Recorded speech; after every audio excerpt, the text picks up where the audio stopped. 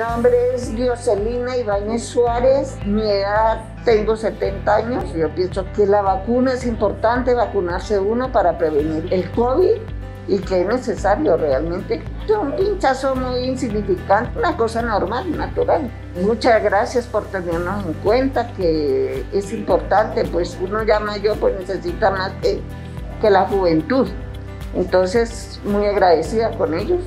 Que Dios los bendiga por, por este acto de ayuda. Yo los invito que, que se vacunen, que la vacuna es importante que sin miedo, que sin nada, porque eso no, no es nada del otro mundo, una vacuna y ya está.